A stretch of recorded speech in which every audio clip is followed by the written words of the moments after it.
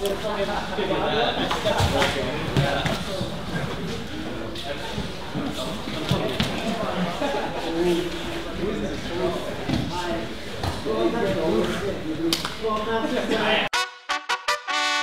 Darce, the Darcy do, the Darce on me, but Darce on you. Uh, I've been doing a Darce like, I've been doing doing the Darces for, I don't know, probably been focused on them for like a year and a half now.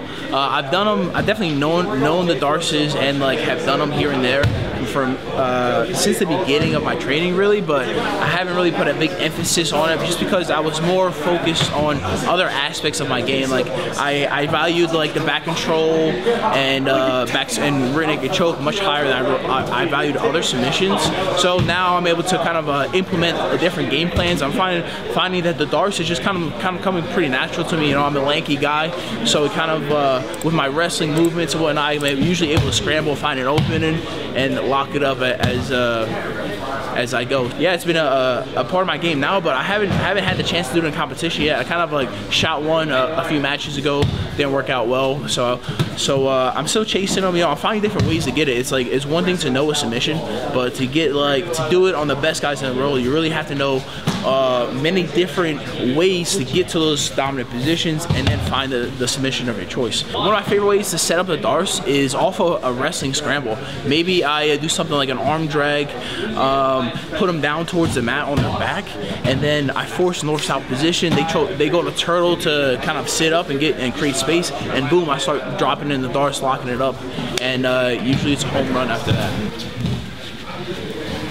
I think uh, once you're able to get to the darce, uh, some of the mechanics I would say is look to get your choking hand as deep as possible. So much so that you're not locking your your bicep or um, you're not locking your, the bicep with your fingers, but more so closer to the wrist. And also when we're having our hand on, on the back of our opponent, look to walk the fingers to the far trap, and you can even do things like use your lat to pull down as opposed to like a more of an internal squeeze. We use a kind of rotational retraction.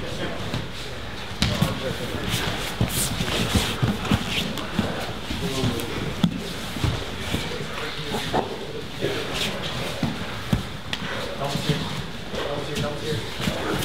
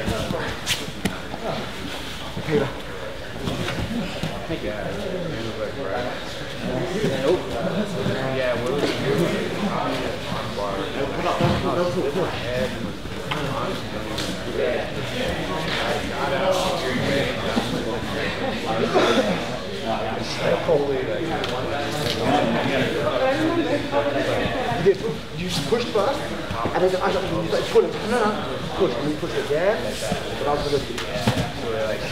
So chasing the Darce from a single leg. Boom, he shoots, I snap, I begin sprawling. As I break his hands on the sprawl, I begin, uh, I give the head a light tap with my left as I come in deep with my right. From here, I lock, I lock the wrist deep around my right arm, begin scooting my right hip in. As I begin walking my way towards him, it's important that I walk my hand towards the far trap. So I get here, I'm able to scoot in.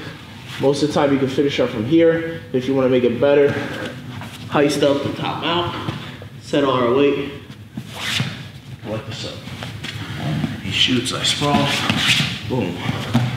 Bump the head, shoot the darce, begin locking my hands wrist deep. As I fall to the hip, walk my fingers to the far trap.